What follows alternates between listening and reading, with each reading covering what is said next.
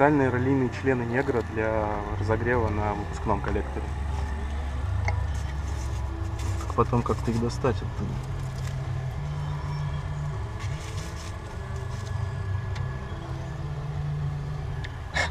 За- Закрыть крышкой и довести до готовности.